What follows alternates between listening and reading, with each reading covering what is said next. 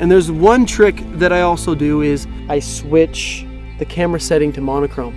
It's still raw images, so I can still switch into color when I upload them to the computer. I love switching it to black and white monochrome because when I look through the camera and it's just black and white, it helps me simplify and only think about contrast, lighting, shadows, and the subject or the person I'm shooting.